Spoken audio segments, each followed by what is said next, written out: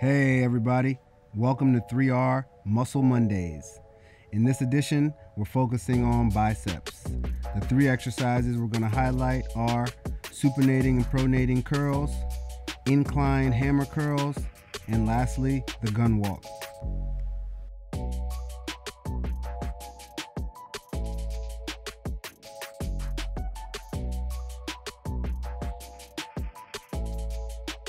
For the supinating curls, we're gonna start palms up, which is a supinated position.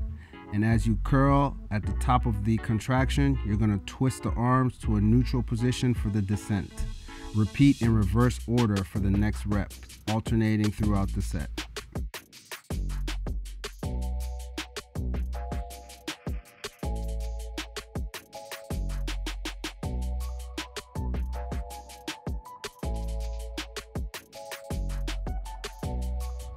For incline hammer curls, you're going to be seated at an incline position, hanging the arms by the side with a neutral grip.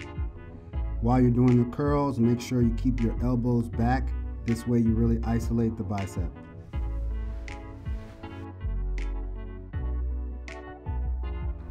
For the gun walk exercise, we're going to curl five reps standing, then you're going to hold at 90 degrees walk about 10 to 12 feet, then do another five reps, hold at 90, and walk back to complete the set.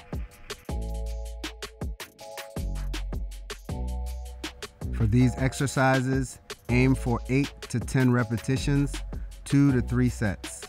As always, practice good form and proper execution, and have fun with this twist on traditional bicep curls. Thanks for joining us on 3R's Muscle Mondays. See you next time. And don't forget to check us out on Instagram, Facebook, and YouTube.